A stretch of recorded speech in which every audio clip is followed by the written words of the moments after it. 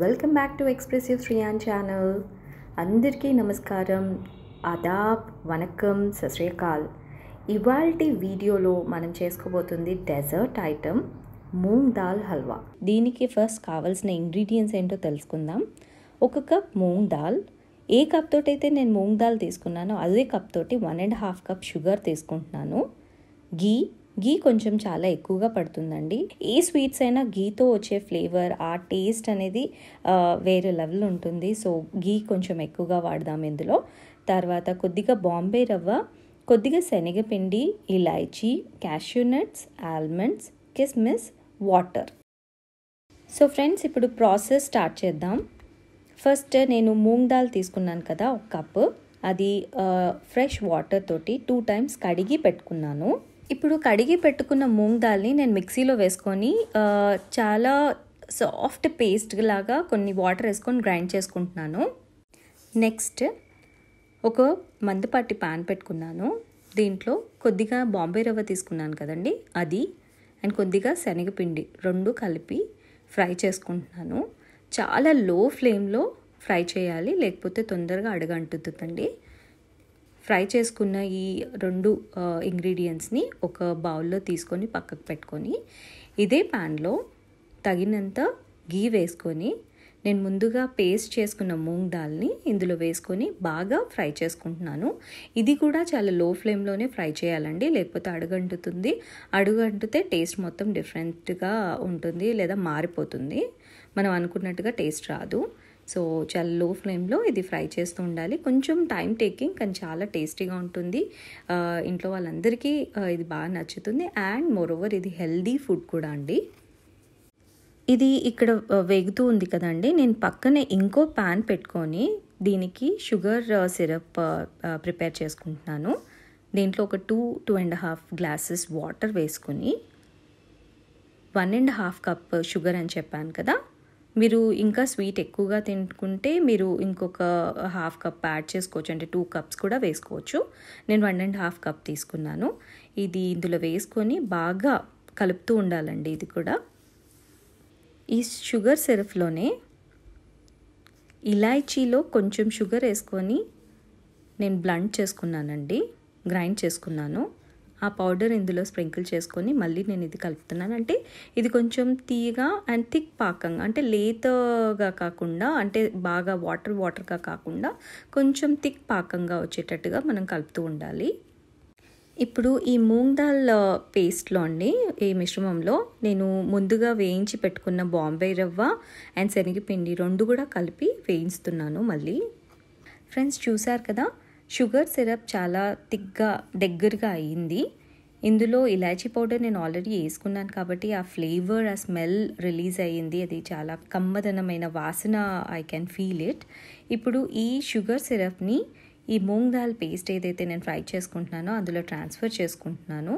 కలుపుతూ చేసుకోవాలి. ఇది లో ఫ్లేమ్లోనే ఉండాలండి. మళ్ళీ చెప్తున్నాను. తర్వాత ఇప్పుడు కిస్మిస్ క్యాష్యూనట్స్ ఆల్మండ్స్ ఇందులో ఇంకా కొంచెం ఇలాచీ పౌడర్ వేస్తున్నాను. అండ్ కొంచెం సరిపడంత గీ కూడా వేసుకొని మూత పెట్టుకొని ఒక టెన్ మినిట్స్లో ఫ్లేమ్లో కుక్ చేసుకుంటున్నానండి. ఫ్రెండ్స్ మూంగ్ దాల్ హల్వా రెడీ అయిపోయింది. ఇప్పుడు నేను సర్వింగ్ బౌల్లోకి వేసుకొని ఇది ప్లేటింగ్ చేసుకుంటున్నాను. So healthy and tasty moong dal halwa ready అండి. ఓకే ఫ్రెండ్స్ ఇప్పుడు టిప్స్కి వచ్చేద్దాం. ఇవాళ నేను తీసుకున్న ఇంగ్రీడియంట్ మూంగ్ దాల్ హల్వాది కాబట్టి మూంగ్ దాల్ ఇంగ్రీడియంట్ తీసుకుంటున్నాను. So moong dal originated Indian subcontinent నుంచి అండి ఇది ఫిఫ్టీన్ హండ్రెడ్ బీసీలోనే కనుగొన్నారు. దీని యూజెస్ uh, ఇది ఎలా యూనో కల్టి ఐ మీన్ ఎలా తినాలి ఎలా ఆరోగ్యానికి బెనిఫిట్ అనేది మాత్రం మనకి వెరీ ఏషియన్ డేన్స్లోనే దీన్ని కనుగొన్నారు. అండ్ uh, అక్కడి నుంచి కల్టివేట్ అయినది వచ్చేసేసి మనకి uh, వేరే కంట్రీస్కి కూడా ఇంట్రడ్యూస్ చేశారు. ఈ moong dal beans southern and eastern ఏషియాకి ఆఫ్రికాకి ఆస్ట్రన్ ఏషియాకి అమెరికా వెస్ట్ ఇండీస్ లాంటి దేశాలకి ఈ moong dal you know benefits cultivation కానీ వ్యాపించింది. ఇప్పుడు వస్తే మనకి హెల్త్ టిప్లో ఫస్ట్ ఇది మూంగ్ దాల్ అనేది రిచ్ ఇన్ న్యూట్రియన్స్ అండి తర్వాత యాంటీ ఆక్సిడెంట్ ఇప్పుడు వచ్చేది మనకి వేసవి కాలం కాబట్టి హీట్ స్ట్రోక్స్ నుంచి ఇది ప్రొటెక్ట్ చేస్తుంది ఈజీగా డైజెస్ట్ అవుతుంది దీనివల్ల మనకి వెయిట్ లాట్ ప్రమోట్ కూడా అవుతుంది. సో జనరల్గా మీరు ఈ మీ ఆ ఆహారంలో మూంగ్ దాల్ కొంత పోర్షన్ డైలీ ఇంక్లూడ్ చేస్తే బాగుంటుంది. It will help you in all ways అండి సో ఇది డెఫినెట్లీ ట్రై చేయండి. ముందుగా హెల్త్ సెగ్మెంట్కి హెల్త్ టిప్ సెగ్మెంట్లోకి వెళ్తున్నాను. జనరల్గా మూంగ్ దాల్ తింటే గ్యాస్ట్రిక్ ప్రాబ్లం ఎక్కువగా అవుతుంది అని ఒక అపోహ ఉందండి.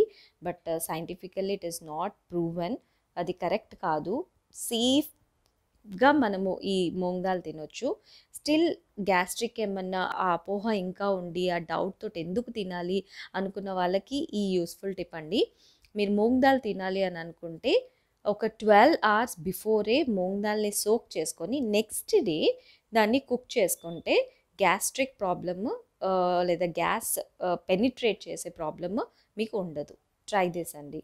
నా నౌ బ్యూటీ టిప్కి వచ్చేస్తే ఒక గుప్పెడంత మూంగ్ దాల్ రాత్రి మిల్క్లో రా మిల్క్ అండ్ ఒక టీ స్పూన్ ఆఫ్ హనీ వేసుకొని సోక్ చేసుకొని నెక్స్ట్ డే గ్రైండ్ చేసుకొని ఫేస్కిను నెక్కి పెట్టుకొని ఒక ఫిఫ్టీన్ మినిట్స్ తర్వాత లైట్గా మసాజ్ చేసేసుకొని వాష్ చేసేసుకుంటే మీకు పిగ్మెంటేషన్ తర్వాత పిగ్మెంటేషన్ తోటి ఎవరైతే బాధపడుతున్నారో ఇది ఎవ్రీ యూనో ఫిఫ్టీన్ ఫిఫ్టీన్ డేస్కి మీరు చేసుకుంటే అది తగ్గుముఖం పడుతుంది.